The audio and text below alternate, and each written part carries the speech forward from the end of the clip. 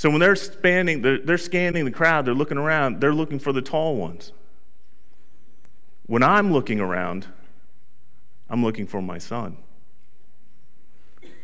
And I know what my son is. You can line them up with a hundred kids, same height, same hair, a thousand similar boys. I'll still be able to pick out my son.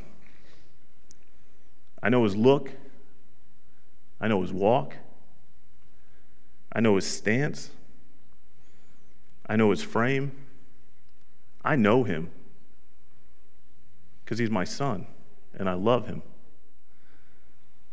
But the figure approaching is walking, hunched over, matted hair, torn, dirty clothes, a face that is aged beyond its years. It took a father to recognize this, this figure. It took a father to recognize that this was his son. It took a father to recognize this figure walking to him in the distance.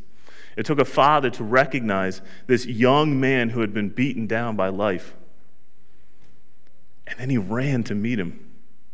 He ran to his son. He embraced his son.